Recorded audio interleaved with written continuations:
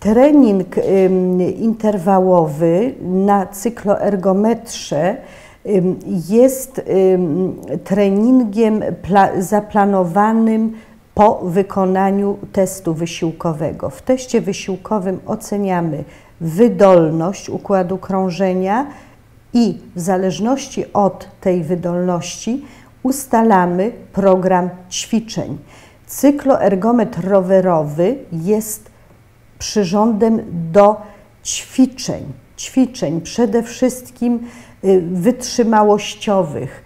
Y, programuje się obciążenia y, albo ciągłe, albo interwałowe i pacjent w zależności od swoich możliwości w ciągu 20 minut albo pół godziny ćwiczy na cykloergometrze.